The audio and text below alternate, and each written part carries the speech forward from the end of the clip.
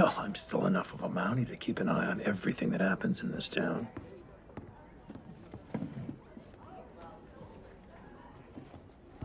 What'd you find up there? They're not digging a well. They're digging a trench connected to the creek with some sort of stop gate to control the flow. Why is he lying about it? I don't know. But here's something else to add to the mystery. Sedimentary rocks and minerals. Mm-hmm. It's a book Jamie checked out from the library. He sent it by mail with this note saying how much he enjoyed his time in Hope Valley. Montague's been saying Jamie and Madeline will be back in a few days. If that were the case, why wouldn't Jamie wait to return it in person? That's a good question. Thank you. He's lying about the well, and he's lying about Jamie and Madeline coming back.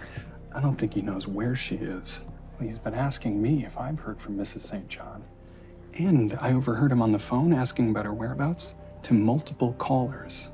He even asked to search her room. It was pretty strange. You ask me? I don't think they're even engaged.